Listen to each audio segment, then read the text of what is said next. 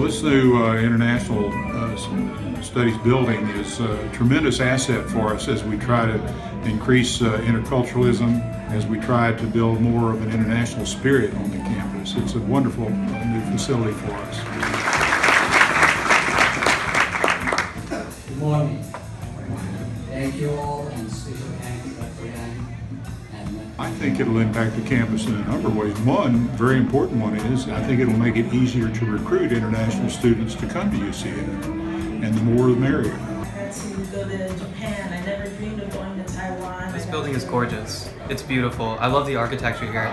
And I really like how it symbolizes the opportunity to connect together and work together under just well-designed spaces.